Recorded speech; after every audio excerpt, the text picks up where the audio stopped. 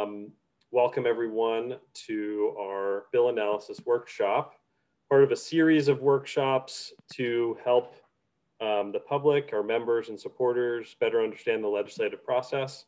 So last time we did a general overview of the process, and today we're going to dive a little deeper into specific legislation to better understand how it works. Um, and I'm going to turn it over to Bob Howe, our lobbyist and um, key presenter tonight to lead us through this workshop. All right. Well, um, hello, everybody. My apologize for um, for the delay on my end. So uh, I've represented the Sierra Club now for three or four years. Been representing clients at the State House for 40 years. Prior to that, I served in the Maine House of Representatives, and uh, I live in the town of Brunswick. Now, Matt, uh, do you want to allow me to share my screen? Yeah, you should be able to. You're a co-host, so you should see right. that green button. So tell me, the first thing, uh, I, are you seeing my what I'm seeing on my screen, which is the legislative report for Sierra Club? Not yet. Okay. Do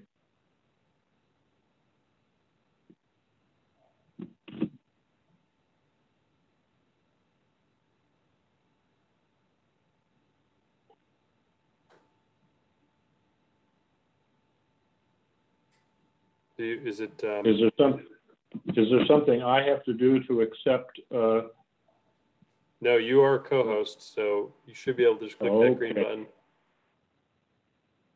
share? Voila. There we go. Okay. So, um, what you're looking at is the report I put together for the Sierra Club for bills I think Sierra Club is interested in, and we add to this, or maybe it takes something off. Uh, as I meet with Matt and the legislative team to discuss what issues Sierra Club wants to follow and and indeed get involved in. So um, why don't we jump right in? Uh, the first, the, these are bills that have been posted. That is to say, they're fully drafted. They've been assigned LD, that is legislative document numbers, and um, we can see exactly what they do in most cases. Uh, anybody is welcome to get this link. Um, I have an email that goes out automatically to clients on Fridays with a link to the client's report. If you're not getting those and you want them, let me or Matt know, and I'll add you to the distribution list. Um, so you had mentioned that uh, the interest is 50-50 on whether to take a look at the plastic bag ban, or was it, I was so involved trying to get my technology straight here, I didn't catch everything you said. Yeah, that was for the bag ban or offshore wind, but um, maybe we could s- start with the hydrofluorocarbon and then um, if All you right. want to be the vice president and break that tie, I'm happy to delegate that to you. Um, maybe somebody else will come on and take that responsibility. What bill number am I looking for here?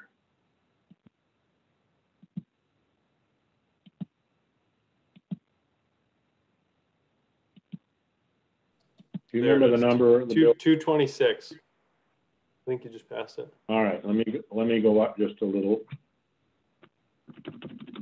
Here we go. All right.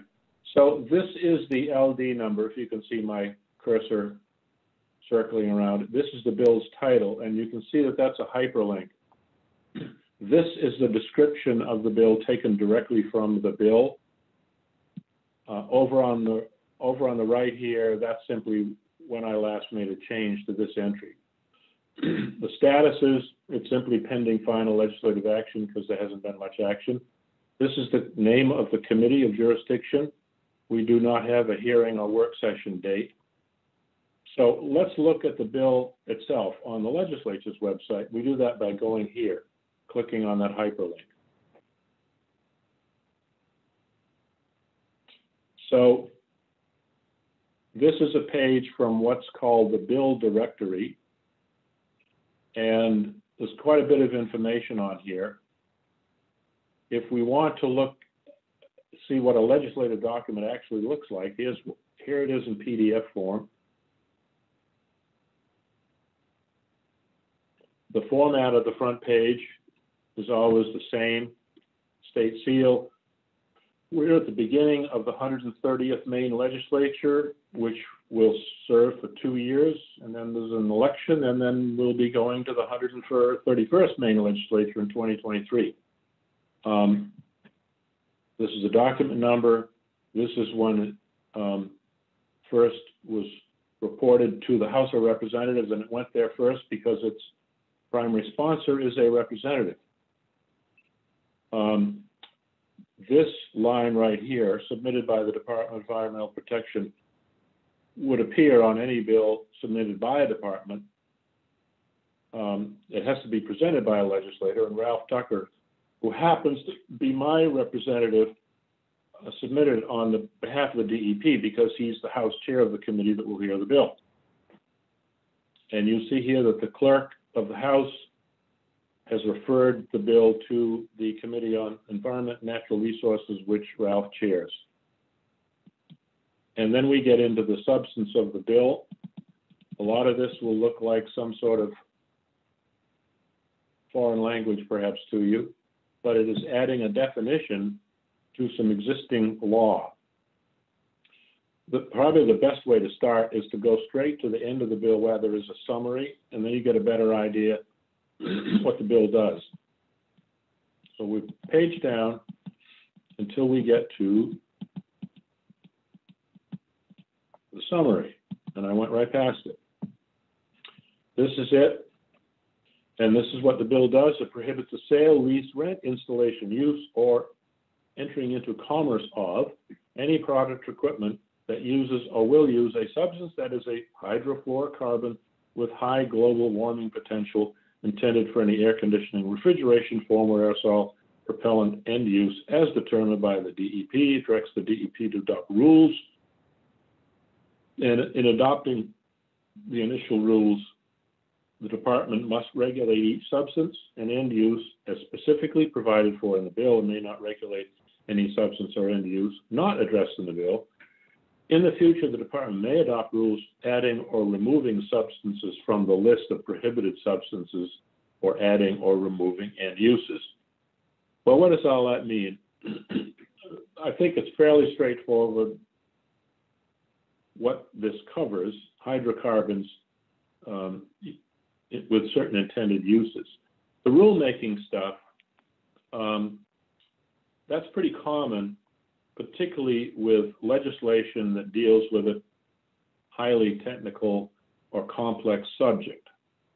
Rather than the legislature, the citizen legislator, trying to figure out exactly how the rules should be written they delegate that task to the department.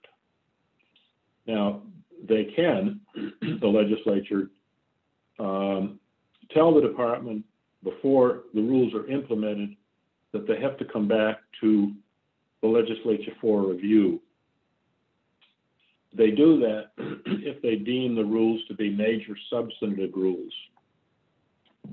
Um, and perhaps we can find up here whether they've done that. Rulemaking. No, they did not do that. Look on line 13, rulemaking. The department shall adopt rules to implement the section. Rules adopted, blah, blah, blah, are routine technical rules. See, there are two types of rules. There are major substantive rules which come back to the legislature review and approval, and then there are routine technical rules that simply uh, go into effect once the department has conducted the rulemaking process a process which is prescribed in law. So um, let me, before I go any further, let's see if there are any questions or Matt, whether you want me to uh, steer this in a particular direction from here. Um, feel free to, yeah, if there are questions, you can put them in the chat. I don't see any at the moment, but um, I, Okay, I appreciate I appreciate knowing the distinction between major um, and routine technical major rules. subs, major substantive. And it's strictly a, a, call by the legislature which type they are going to deem a set of rules to be. My guess is they've done routine technical rules here because there's still, there's already a very well-developed set of rules uh, on, um, on the regulation of, uh, chemicals and substances, and this simply adds another category to it. It's not, it's not a whole new area of law. So, what else strikes you about this legislation? Was this also um, was this given by the department or the governor? Yeah, this comes from the department. Uh, it's not a governor's bill per se. Uh, the governor can put in her own bills, and she can do that anytime she wants. Whereas departments um, had a deadline in, I believe, early December. And then individual legislators submitting bills in their own right and not behalf of the department or agency had a somewhat later deadline, 18th of December. Now, I will say the department is very unlikely to put a bill in without checking with the governor's office to make sure the governor's is okay with it. But it is not per se a governor's bill. I think Minot had his hand up. No, oh, batting away flies.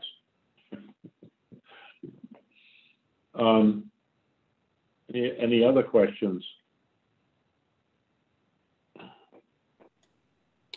Well, I guess this does bring up um, what Bruce briefly touched on, but the the rulemaking process. So, I mean, this is legislation to change um, change the law, and then with specific definitions by the department, and then there there is a rule there are rulemaking processes for most agencies. Um, can you just give us a clear uh, try to understand the difference between rulemaking and the legislative process in this regard? Sure. Well, let's, let's start with the foundational governing document for the state of Maine, and that's the state constitution. Uh, everything flows from that. Uh, the legislature cannot pass laws that are somehow in conflict with the state constitution. Likewise, a department or agency cannot enact rules that are not consistent with the statutes enacted by the legislature. Uh, but assuming this bill, um, well, th- there's no question but what their rules are likely to be consistent with the intent of the legislature because they're being directed by the legislature to do this. there is a, quite a body of law, statutory law governing the uh, rulemaking process. It's called the Administrative Administrative Procedures Act. We could, you know, I could bring that up on the screen if anybody wants to get into it, but maybe this isn't the session for that. Suffice it to say, perhaps, that um, the public has to be given notice of proposed rulemaking. Uh, there is often a public hearing. I believe in all cases there is the opportunity to submit written comments, and then uh, only, and I believe that the agency has to respond in writing to each set of comments, and then eventually uh, they can promulgate the rule. And uh, it has the force of law. The, the difference, if this were deemed a major substantive rule would be that after they'd gone through that process, they, agent, the DEP could not promulgate it until they had sent it to the legislature. And it essentially comes in like a bill, and the legislature can approve the rule, they can approve it with changes, or they can reject it. Pretty much the same options that apply to any piece of legislation. And all, all those steps in great detail are set forth in the Administrative Procedures Act. And that applies to any agency that's, um, has rulemaking authority. And, and agencies need specific authority to adopt rules. Uh, If the legislature hasn't authorized an agency to adopt any rules, they don't adopt any rules.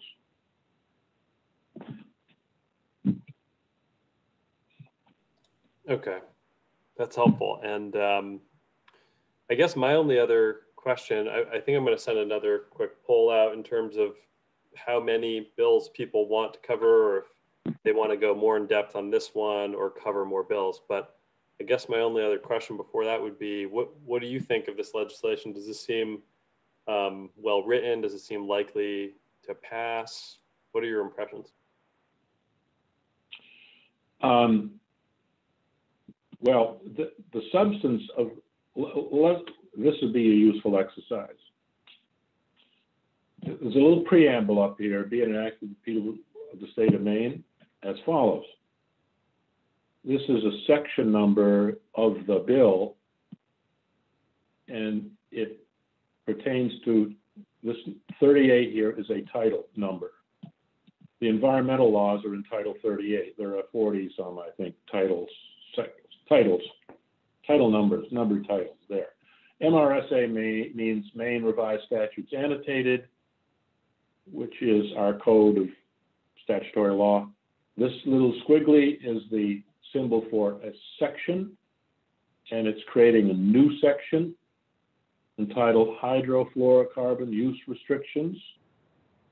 Um, it defines the term substance. Um, I guess what I'm looking for, they don't, they don't in the bill define hydrofluorocarbon. It may be ad- addressed in existing law. Then there's a prohibition regarding these substances, and then there's the rulemaking authority. So everything from line one to line 15 is new law. Everything else from there on, and, and you can tell that because it's underlined. Um, the rulemaking authority is not underlined. Don't mean to make folks dizzy here. Um, the rulemaking authority is not underlined because it's existing law, I believe, and we can check that by going, bear with me here. And Bob, as you do that, I'm going to send out a poll because um, I mentioned earlier that this is kind of like choose your own adventure. We're trying to gauge your interest in what you all would like to get out of this. So um, I'm just going to throw out a poll, kind of wondering if we want to just focus on a couple bills pretty thoroughly, like we are now, or kind of roll through a few more um, and focus kind of just on the general overview content. So I'm just going to launch this, see what people think. But carry on, Bob. Yep. So um, I'm assuming you can see something that says Title 38, Chapter 16, Sale of Consumer Products Affecting the Environment. And these are all existing laws. Aerosol sprays, chemical septic tank cleaners, foam products, lead acid batteries, plastic ba- bags are dealt, I think now elsewhere in law, motor vehicle air conditioning, wheel weights, lead in them, there used to be, ozone depleting products, bromide flame retardants, upholstered furniture, electronic la- waste has been moved to another area of the law. And, oh yes, here's plastic bag reduction. So the, see that, that last one is section sixteen eleven. The new one is sixteen twelve.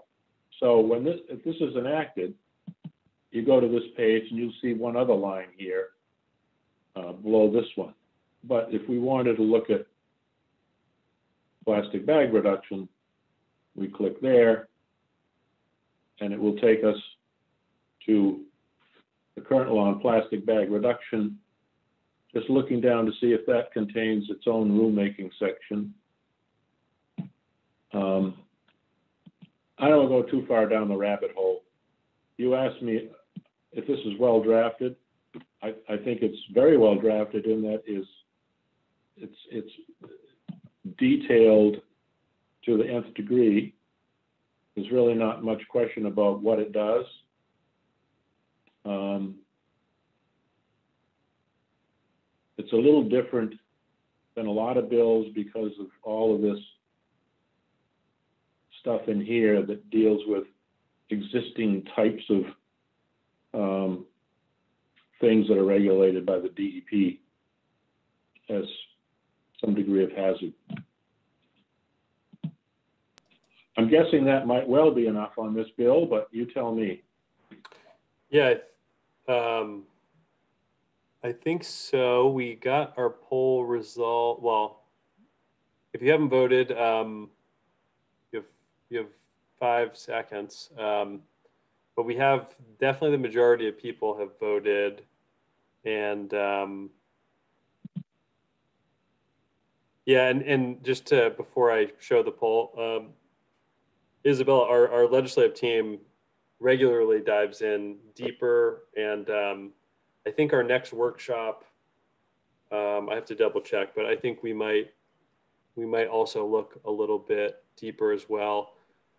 Um, I think the goal once we do a few of these, it'll make more sense, and you, even just reading the summary really helps. Um, but it looks like our polls, with about two thirds reporting, are to kind of move similar to this pace and and focus on the the few that we first um, talked about. So this one and two, maybe maybe three more if we can. But um, maybe the next one can be the Pine Tree Amendment, and then if we have some time, we could just do both of those opposition bills: the the ban and the um, offshore wind.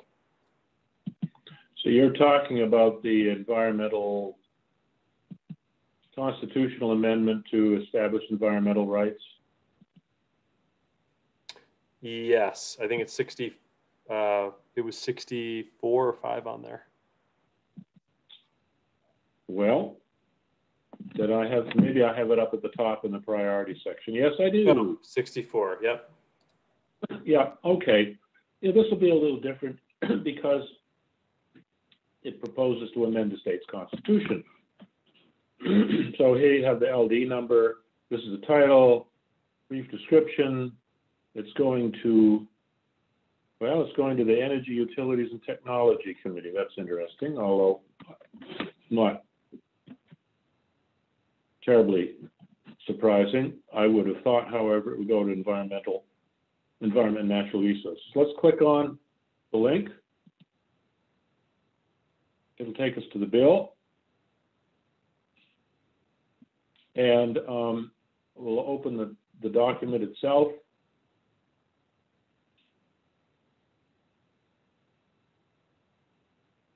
So, um, so you've seen the format title. Oh, now I entered, I entered the Committee on Energy Utilities, which was obviously an error. It's what I thought, would have thought it was. So I'll go back and change it. Sponsor. So it adds a new provision to the state's constitution, Article 10, Section 26 it establishes certain environmental rights, which are set forth here. And then there's language that's unique to constitutional referenda that spells out the process, including how the question will appear on the ballot right here.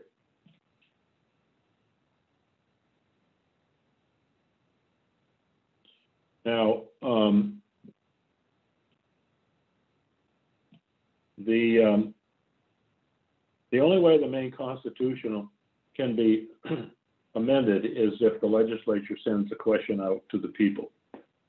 Uh, constitutional amendments cannot be initiated by the voters like statutory law can be.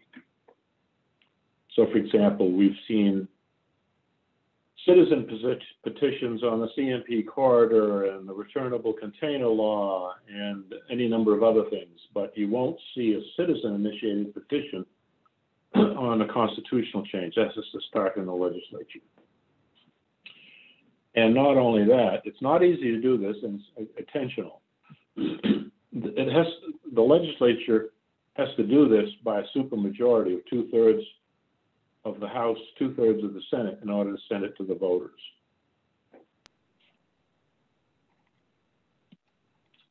Um, Like a lot of constitutional language, it's, it doesn't have a lot of detail. If this passes, no doubt you will then see pieces of legislation responding to this, perhaps to create some new rights that the Constitution guarantees, or how to implement those rights. Um, Not been scheduled for public hearing yet. As far as I know, we can go back to that page. And if one were to click on status in committee, no public hearings or work sessions have been listed for this bill. So these other links over here won't give us anything yet because the bill hasn't been heard. No amendments been offered, no committee divided reports. Nothing's happened in the chambers yet, that is to say the full House and Senate. The actions that have been taken, that's it so far, referred to the committee. And I'll go in and change the committee that I listed on my report. I made a mistake. So, any questions on, on LD sixty-four? I don't see any yet, but just to clarify, um, so this would need a two-thirds vote of the legislature? And a, and a majority or two-thirds vote of, on the ballot? Majority of the voters, but two. Majority of the voters, okay. Yeah.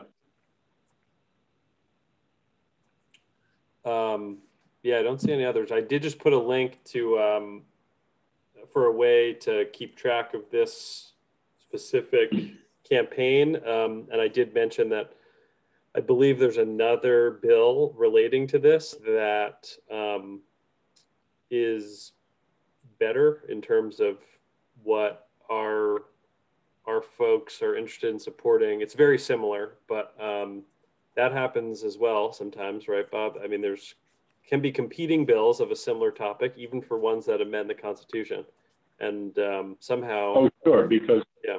There's no, there are no limits on the topic or number of bills that can be put in in the first year of the two-year term. In fact, there are some exactly identical bills that have been submitted in, in the normal year, which this isn't. Um, the legislative, professional, nonpartisan staff would, would have those two identical bills combined into a single one.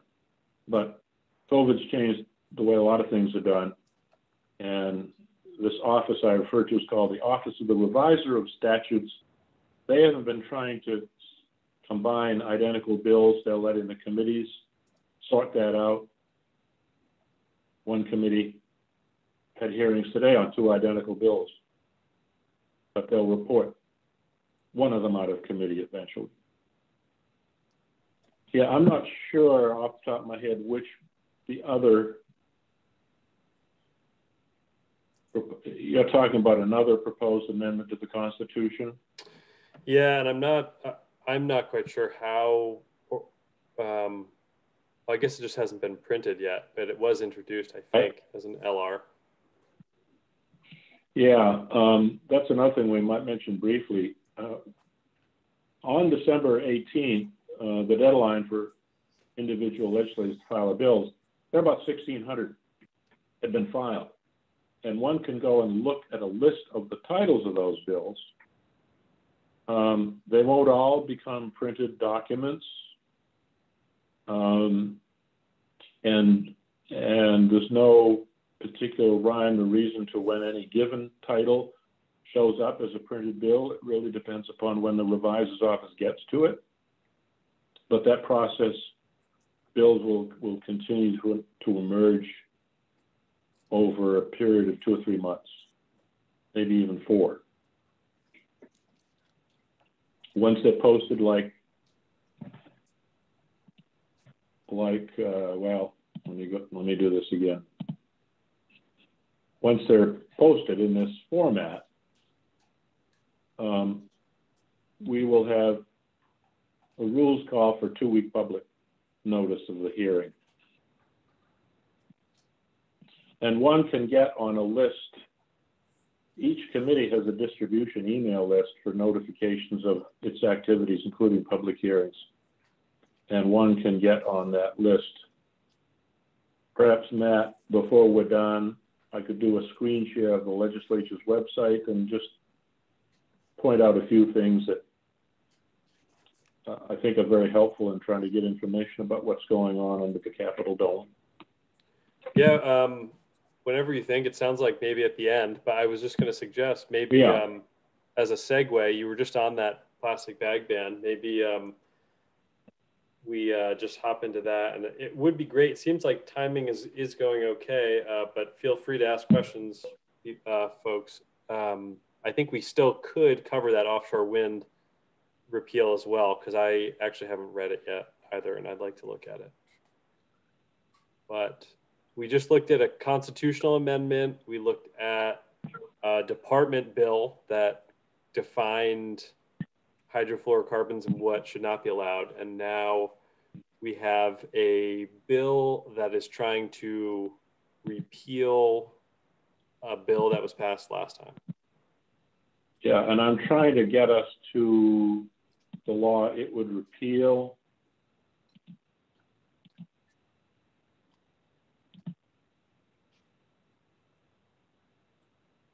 Um, well, bear with me.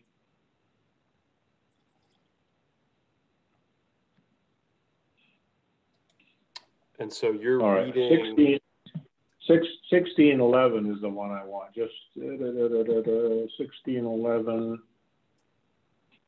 which is right here. So this is the current law. This is what the bill would repeal. First, you've got some definitions, including plastic, point of sale, post-consumer recycled material, so forth, so on. And then you've got a list of, uh, they define restaurant, retail establishment, what's a reusable bag, what's a single-use carryout bag. And then after the definitions, prohibition, the, and, and then exemptions from the prohibition. So this sentence here contains the prohibition. And then following that, under B, a bunch of exceptions. A retail establishment may not provide a single-use carry-out bag to a customer at the point of sale or otherwise make single-use carry-out bags available to customers. But then, here's a list of exceptions to that. Um, my favorite, newspaper bags. We use them for doggy poop bags, but that's all right. At least they get second, they get used, used at least twice. And then after these exceptions, um, a retail establishment may make single-use carryout bags made of plastic that are exempted in paragraph B available to customers to bag products within retail establishment other than at the point of sale, only if the retail establishment locates inside the retail establishment or within 20 feet of the main entrance of the retail establishment a receptacle for collecting any single-use carryout pla- plastic bags and ensures that single-use carryout bags made of plastic that are collected by the retail establishment are recycled or delivered to a person engaged in recycling plastics. Then you get into a sec- section on fees. Whoops, didn't mean to jump quite that far.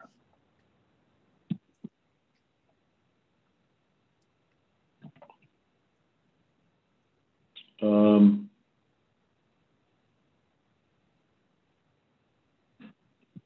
Okay, so retailers may charge a five cent per bag fee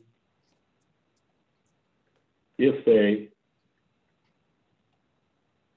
use a recycled paper bag or reusable plastic bag. Um, and then an exception to the fees.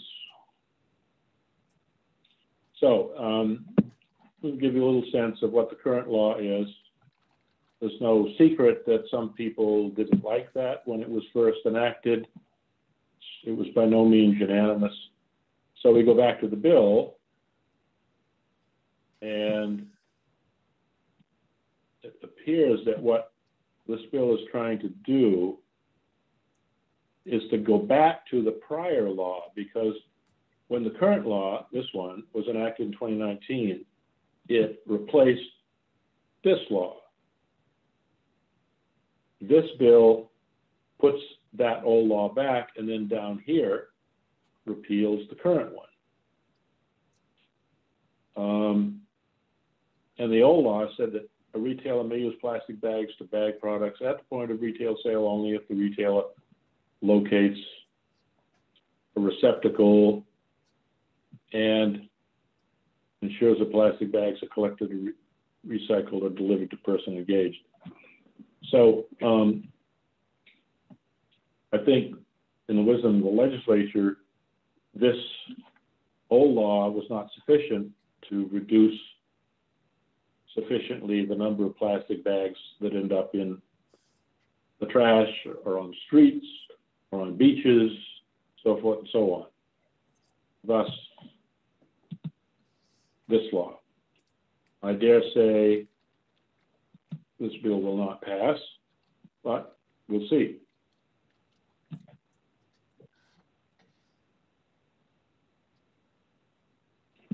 Um, uh, thank you. I'm um, responding to Mandy's question, which pointed out. Oops, sorry, I was muted. Um, I'm just responding to Mandy's question that there are actually three of those bills repealing the ban, and I um, I know you'll show it at the end, but I thought that was a good opportunity to use the site to search. So I searched plastic bag ban on that link I sent, and I now see those three bills, um, LD 39, which we were looking at, LD 108, and LD 108 and 244. And um, 108 uses, you know, the language of public safety as um, to try to improve public safety. But I just wanted to point out, thank yep. you bringing that up. There are a couple other bills in this regard, and um, we do track we do track as many of these as possible. Um, so we will definitely be adding these to the list.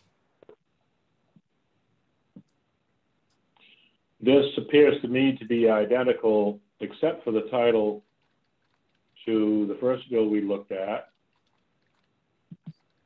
Um, if I jump back and forth between the two, I don't see much difference.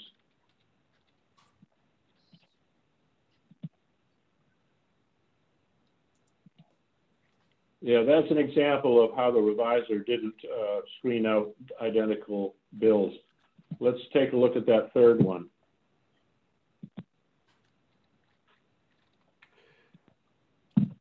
Yeah, and I'm I haven't read through all of these. Um, Isabella just brings up if these are if it is has been effective or not. I I thought there was an implementation piece. Maybe you covered it, Bob. Of um, I don't know if it's been phased in or if it is just a charge on plastic bags, but um, it is definitely an interesting point about how to go about either banning or taxing. And sometimes I know for taxes um, or bans, I, I, believe, I'm no legal expert, but the US Constitution sometimes comes into play with the Commerce Clause. So um, some, I don't know if Bob, if you agree with that, but I know sometimes people have to decide which way to go if you're kind of taxing or banning and um, it has it can have bigger implications if they're national corporations Well, yeah, and what you'll sometimes hear on that last point is that, uh, oh, the state of Maine shouldn't do this. This really should be a national policy. So things are uniform from state to state. Well, guess what? The same lobbyists were in Washington telling the federal government not to do it either. Now, we have three identical pieces of legislation. Um, we wouldn't have seen this before the 130th legislature, but um, blame it on COVID, but um, these will be scheduled for hearing at the same time. The sponsors will all stand up in a single hearing, make their pitches, and the committee will, will kill two of the bills. Uh, they may kill all three of them, but, but they won't report more than one out.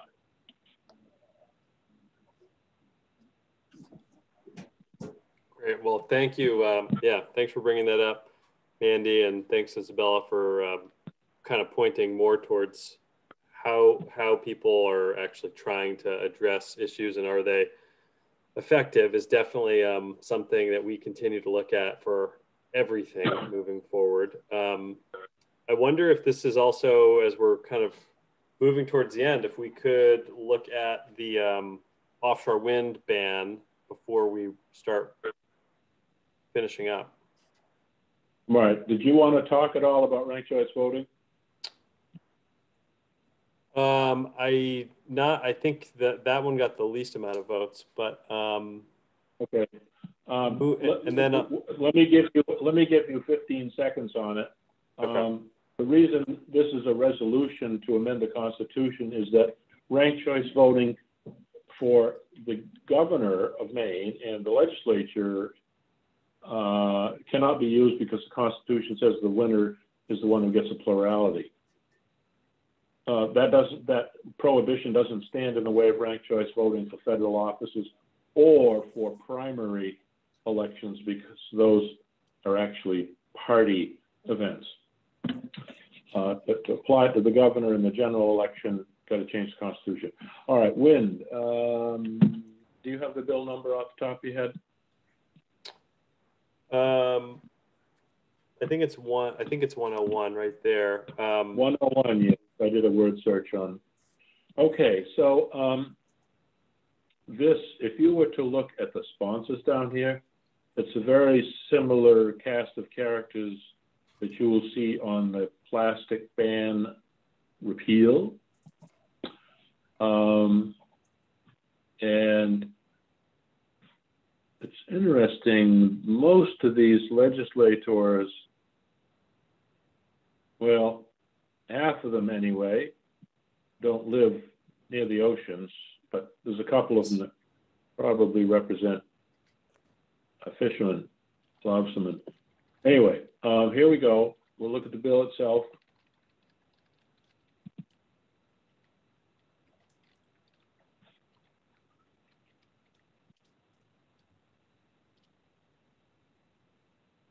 Um, so, uh, a fairly short bill. Let's let's go to the summary. Pro- prohibits any department or agency or political subdivision of the state, like a town or city, from approving or permitting offshore wind projects.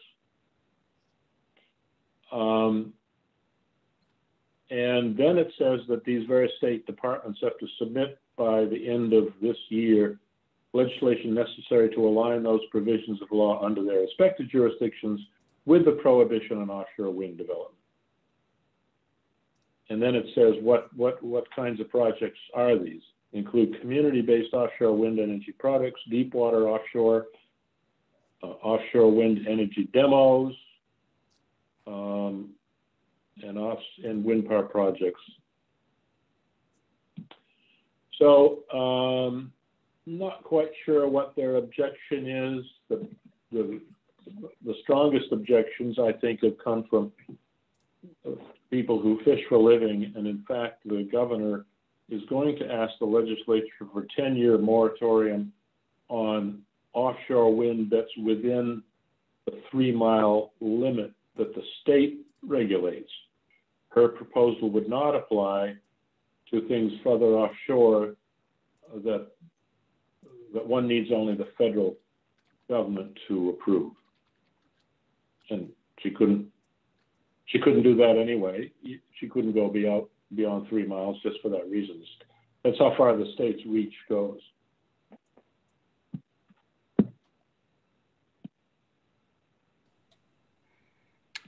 Now, Uh, Representative Faulkingham, he is from a coastal community, and he's the primary sponsor. So I'm sure he's hearing from his fisher, fisher folk.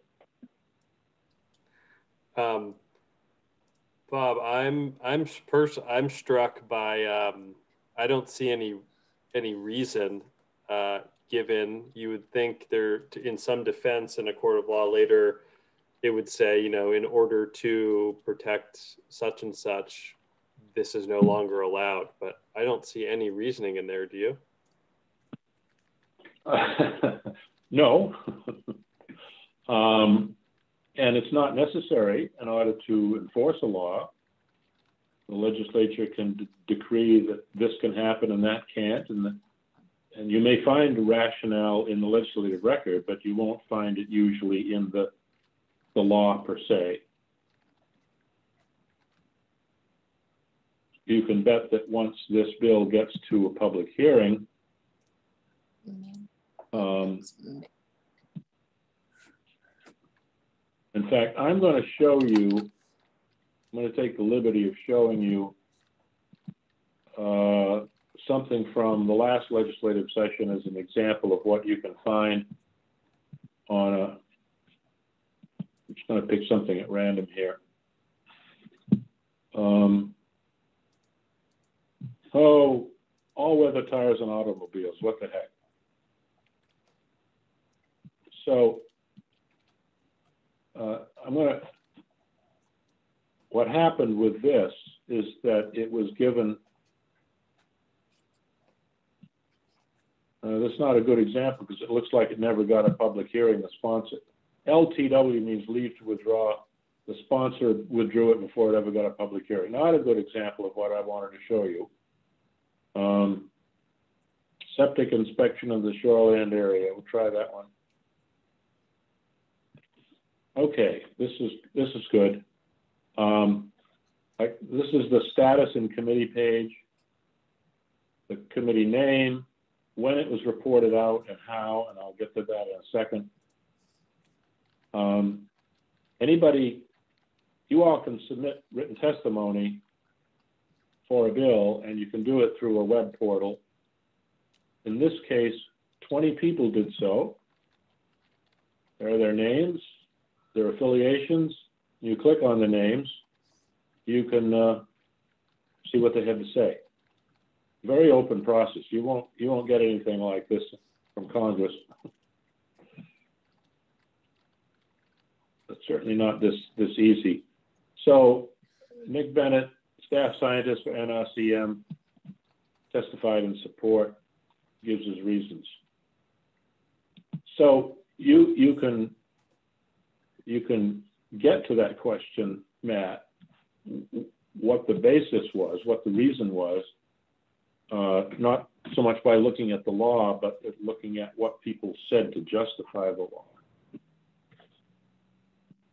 Um, up here, committees don't, all, the 13 members of committees, we talked about this in earlier workshops, don't always agree.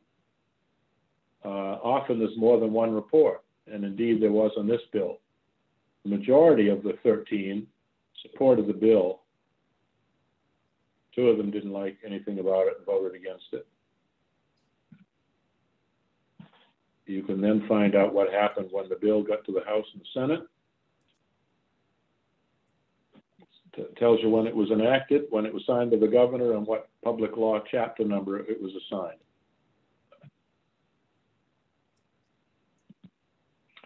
All right, I don't want to keep you too late. I'm good as long as you are. Where, where would you like to go next? Um, just to, I guess, answer Bruce's question, which is um, definitely a, a legal um, question in my mind, but he said, what is legislative intent? does it have any weight when rules are made or if there are disputes in the interpretation of a law derived from the bill? I'm sorry, say the last part about interpretation. I didn't miss the word. Does it, does legislative intent have any weight when rules are made or if there are disputes in the interpretation of a law derived Well- from the bill? The, the answer is yes and yes. Legislative intent has everything to do with how the rules are drafted. But yes, there can be disagreement over the intent of both the law and the rule, and that's why we have courts uh, to arbitrate those disputes and decide to di- di- discern what the intent of the legislature was. And the courts can look at more than just the words of the law itself. They may very well go into the legislative history and look at. Um, it's not the one I wanted to. I may have closed it, but. We were looking at something a minute ago that showed uh, a bill from the last. Oh, wait a minute. Is this it? Yeah the, uh, the courts may very well look at this testimony. There is also something called the legislative record. Um, every single word spoken on the floor of the House and the Senate, at least when they're on the record, and not talking about when they're going to meet for lunch, uh, is recorded and transcribed. And it used to be those, you could go to the law library and find those in hefty tomes. Now they're online, but um, the debate on a bill um, is also very much uh, fertile ground for a court to try to discern legislative intent. And in fact, some, it's not unusual for a legislator, and it may often be the chair of a committee that reported a bill out, is to read a statement into that record uh, to emphasize what the intent was and what the meaning of the bill is. So that's the kind of stuff the courts will look at in addition to, you know, the black and white words on the page. Thank you, Bob. And I, yeah, it does strike me that it's, as you said, it's still the judge's decision. And um, at least when I think of, you know, other courts at the, the Supreme Court, they may or may not care about um, intent. So, um, yeah, I guess this this was great. I, we covered, we got to cover all the ones we voted for. So I'm glad we could do that. I know a Good. couple people have um, jumped off. I think they probably had to leave right at the top of the hour. Um, so I'm going to stop recording and So anybody who wants to receive the Friday reminder